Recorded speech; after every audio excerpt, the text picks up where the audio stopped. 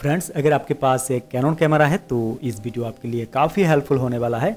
और इस वीडियो में मैं आपको ये दिखाऊँगा कि किस तरह से आप अपने कैनन कैमरा के साथ कैनन का एक रिमोट कंट्रोल आप पेयर कर सकते हैं।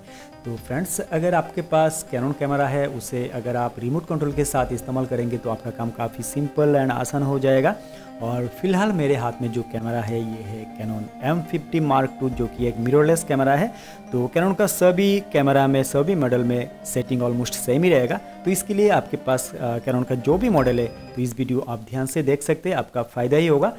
तो वीडियो पसंद आने से प्लीज़ वीडियो को एक लाइक कीजिए और अगर आपने इस चैनल पर पहली बार आए हैं तो इस तरह से इंटरेस्टिंग एंड हेल्पफुल वीडियो आगे भी देखने के लिए इस चैनल को भी सब्सक्राइब कर लीजिए। सो हेलो फ्रेंड्स मैं हूँ प्रदीप और आप देख रहे हैं YouTube channel JP tech news तो गैस सबसे पहले आपको आपका कैमरा ओपन करना है और कैमरा का ऊपर में या साइड में आपको दिख जाएगा ये मेनू बटन और इसमें प्रेस करते ही इस कैमरा का डिस्प्ले में आपको दिख जाएगा ये फाइव ऑप्शन जैसे कि यहाँ पर आप देख सकते हैं shooting setting playback setting wireless setting function setting then सबका लास्ट में आपको दिख जाएगा डिस्प्ले लेवल सेटिंग तो आपको यहाँ पर चूज़ करना है वायरलेस सेटिंग और इस सेटिंग का अंडर में भी इस तरह से कई सारे सेटिंग आपको दिख जाएगा, लेकिन आप यहाँ पर चूज़ करेंगे सबका ऊपर वाला ऑप्शन वाईफाई और ब्लूटूथ कनेक्शन और यहाँ पे अगर आप चाहे तो आप अपना कैमरा के साथ, आप अपना स्मार्टफ़ोन भी ऐड कर सकते हैं. अगर आप चाहे तो इस कैमरा के साथ एक प्रिंटर भी आप जोड़ सकते हैं. लेकिन फ्रेंड्स आप यहाँ पर चूज़ करेंगे सबका नीचे वाला option connect to a wireless remote और इसमें क्लिक करते ही यहाँ पर आपको दिख जाएगा। ये option add a device to connect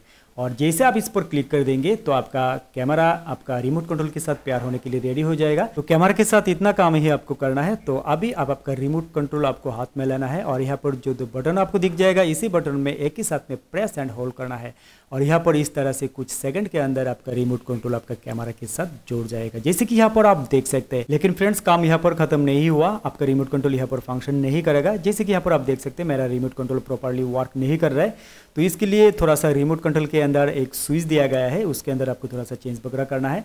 और आप आपका रिमोट कंट्रोल का राइट साइड में आपको दिख जाएगा ये स्विच तो आपको उसे वीडियो के अंदर आपको टर्न कर देना है।